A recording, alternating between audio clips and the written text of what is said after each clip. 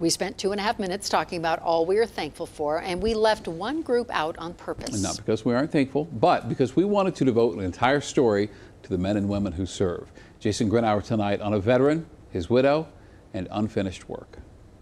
Ed and I never asked for help from anybody. We always did everything on our own. Um, I'm sorry. For Bonnie Lake, it's still hard to talk about her husband. He was a Marine.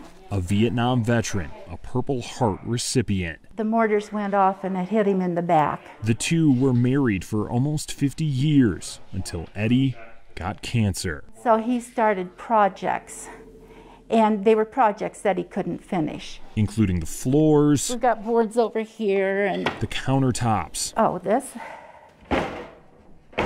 And a first floor bedroom. It's a construction site. Her husband passed away in 2016.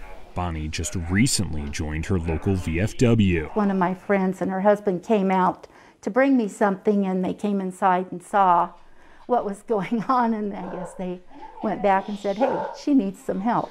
The Military Order of the Purple Heart shared her story with us. But no, I don't expect anybody to come out and help me. I, one way or another, I would have gotten it done, but might be a 100 years old before that happens. Knowing a helping hand might be able to finish the projects her husband started and do so in his memory. Well, I would think about him, hey, we got, I, you know, it's done now. I can stop yelling at you.